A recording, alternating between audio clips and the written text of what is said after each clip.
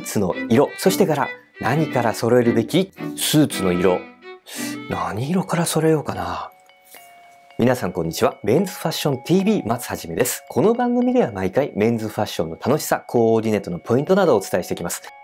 さて今日はスーツの色、そして柄、何から揃えるべきというお話をしてみたいと思います。これからね、スーツを新しく新調しようという方とか、初めてスーツを買おうという方もいらっしゃると思うんですね。そんな時にどんな基準で考えていけばいいのかということをお伝えします。結論申しますと、まず色なんですけども、紺かグレーです。紺、まあネイビーですね。こういう色とグレー、これが基本になるわけなんですね。そして柄は最初は無地がおすすめです。そこからストライプに移行してください。なぜなのかということについて解説します。まずですね、スーツは黒じゃないのと思われた方もいるかもしれないんですけども、欧米なんかに行くと基本このビジネススーツというのがネイビーとそしてグレーなんですね。で、黒っていうのも確かに使いやすい色ですよね。だと思うんですけども、それでしたら私のおすすめとしてはミッドナイトブルーです。ミッドナイトブルーはですね、もともと西洋のね、まだ照明がそんなに発達していなかった時代にある方が黒を着てるけど、なんだか黒っぽく見えないなということで仕立て屋に頼んでですね、黒よりも黒く見える色を作ってくれと。そんな色をね、染色した生地を作ってくれと言ったというお話がありまして、そこから生まれた色、非常に深い紺色で、日中の太陽光で見れば、まあ、紺かなと見えるぐらいの色なんですけども、室内、夜なんかですともう真っ黒に見えると、こんな色があるんですね。非常に式典とかですね、それからまあビジネスでもかっちりしたシーンで使える色ですから、こういう色はすごく私おすすめしている色ではあります。ネイビーとグレーということなんですけども、揃えるなら色のトーンはダークトーンがおすすめです。なぜかというとですね、やっぱりダークトーンの方がキリッとするんですね。逆にライトグレーとかライトブルーとかかっこいいですよね。かっこいいんですけども、これらの色っていうのは膨張色と言います。逆で私が今着てるようなネイビーで濃い色っていうのが収縮色と言います。膨張色ですから少しねお腹が出てきたなとか体型が大きい方がライトグレーを着てしまうと膨張して見えちゃうんですね。白とかそういう色もそうですよね。逆で黒とかこういうネイビーっていうのは収縮色ですからシュッとね引き締める効果があるわけです。ですから色としては濃い色の方が合わせやすいですし収縮色でねキリッと見せることができるわけですね。そしてグレーにも大きく分けて3段階あります。濃い方から順番にチャコールグレー、ミディアムグレー、ライトグレーです。ライトグレーは先ほど申したような軽やかな色なんですけども、チャコールグレーっていうのが非常に黒に近い濃いグレーなんですね。こういう色も非常に合わせやすいです。ライトな色はね、その後の揃えていくスーツの中にあってもいいとは思うんですけども、もう一つ季節感が出ちゃうんですよ。これは良くも悪くもですよね。春先に軽やかなライト、グレーのスーツを着て、春を表現すると。これとっても素敵なことだと思うんですけども、真冬にね、ライトグレーだとちょっと軽いかなという感じがしてしまうかもしれないんですね。こういう意味でも万能なのがやっぱり濃い色ですね。全く違うお話でビジネスではなくて逆にカジュアルの服として揃えようとかレストランで食事をする時のスーツとして揃えたい。もしくはそんなに硬くないので自由な服装ででもスーツである方がいいかなということで揃えるとかね。あとおしゃれ着としてスーツを着ようという方もいらっしゃるかもしれないんですけどもこんな時はお勧めしたいのがカジュアル色であるベージュとかブラウンとかこういう色ですね。ベージュの無地の、例えばコットン素材のセットアップスーツなんか、すごく軽やかな感じが出ますし、ブラウンのね、例えば3ピースで、ウィンドウペンのね、チェックが入った、こういうスーツで、ちょっと土曜日の食事なんていうのもかっこいいと思うんですよ。私もベージュとかね、グレーとベージュが合わさったグレージュなんて色大好きで持っていますけども、こういう風にね、カジュアルな印象を装うんでしたら、ベージュ方向というのも良いのではないかなと思います。柄について無地、その後にストライプとお伝えしたんですけども、これどうして最初に無地が良いかということなんですけども、やっぱりですね、コーディネートの幅が広いんですよ。例えば今、私が着ているシャツ、等間隔のストライプで2色のストライプが入ってます。ここにですね、柄のタイを合わせてるんですね。色や柄をたくさん使ってますけども、外側のスーツとベストで無地で締めてますから、まとまるんですね。こんな風にビジネススーツを装う場合には、柄を使う場合はどこかに無地を使って締めてあげるっていうのがコーディネートをうまくまとめるポイントなんですね。まあ、一つ柄を使ったらあとを無地にするとか、二つ柄を使ってあとを無地にするとかですね、無地をうまく使うっていうこと、ポイントになってくるわけですけども、面積が大きくて、シュッと無地で締めやすいのがこのスーツ、ジャケットなんかなので、私も実は持っているスーツ、ジャケットのほとんどが無地なんですよ。まあなんか面白くないなと、無地面白くないなと思われる方もいらっしゃるかもしれませんけども、結構ね、使えるので、他のところで遊べるっていう意味ではいいんじゃないかなと思います。コーディネートの幅が広いっていう意味ではもう一つ、中の装いを、例えば白の無地シャツ、そしてダークネイビーのタイ。こういう風にコーディネートすれば、これはね、式典でもいけるわけですね。ネイビーのスーツとか、先ほどお話したミッドナイトブルーのスーツに中をカチッとすればですね、それこそモノシーンなんかでも使えます。こんな風に冠婚葬祭でも使えて、ビジネスでも使えるという意味では、無地のスーツたちっていうのはすごく万能ですね。そしてストライプ。このストライプにもですね、視覚的なメリット実はありまして、先ほど膨張色と収縮色というお話少しさせていただきましたけども、実はですね、縦にストライプが入っていると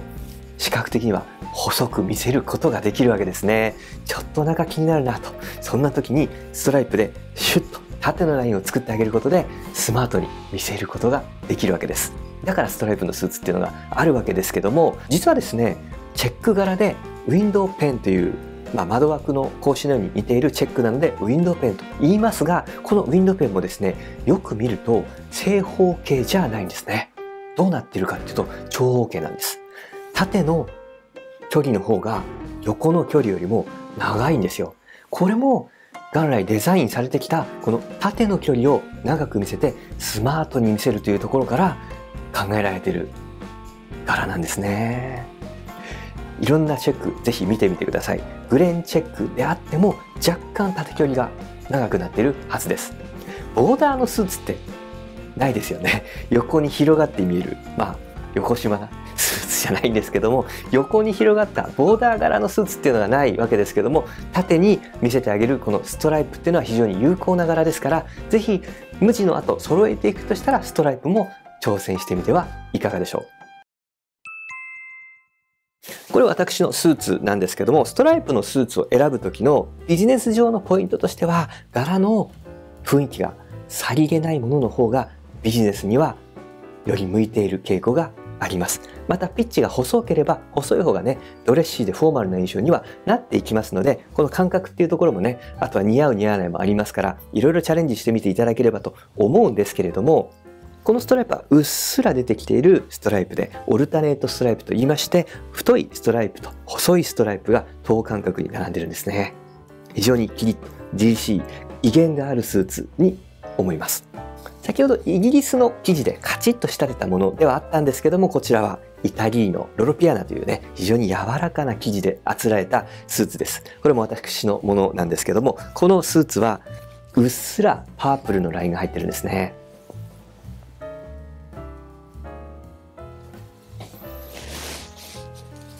このぐらいうっすらでしたらそれほどねコーディネートにも悩まずに済みますからこういううっすらとしたね柄は非常に合わせやすい傾向があります。ということでスーツの色そして柄何を揃えていきましょうということでご提案させていただいたわけですけれどももし私が3着だけスーツを所持できるならどんなものを揃えるか。ネイビー無地のスーツ。そしてチャコールグレーの無地スーツ。もう一つはミッドナイトブルーの3ピーススーツです。やっぱりねこの3着があればあとは V ゾーンの着こなし着回しでかなり広い範囲いけるわけですね。本当に最小限のクローゼット計画っていうんでしたらこの3つがいいんじゃないかなと思うんですけどもやっぱりねいろんなのが欲しいんですね。体一つなんですけどね。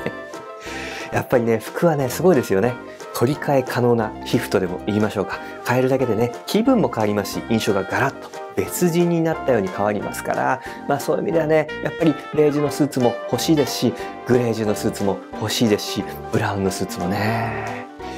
欲しいですね。置いておきたいですね。うん。